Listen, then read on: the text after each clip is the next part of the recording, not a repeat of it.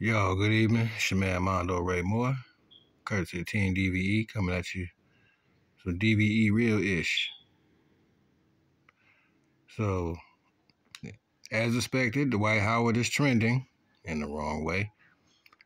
And in any event, it appears the Dwight Howard still has a powerful fan base, a strong one at least, I'm gonna say. The Dwight Howard fans are outraged that people are actually talking about this, you know, and look, man, I'm not here to condemn Dwight Howard or strike him with lightning or none of this or place judgment.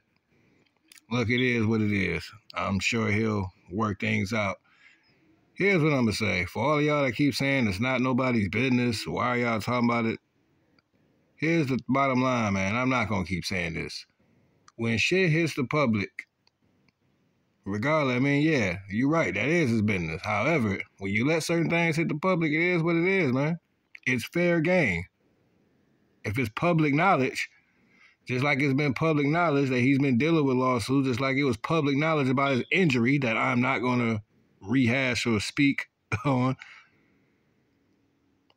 And not to mention the transgender who had broke up with him and or stop dealing with him, I'm gonna say, and he had a hard time letting go.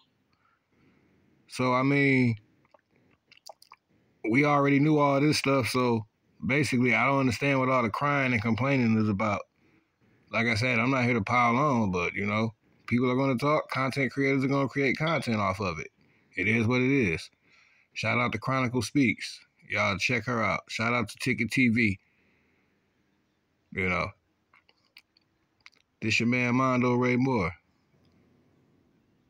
Courtesy of Team DVE.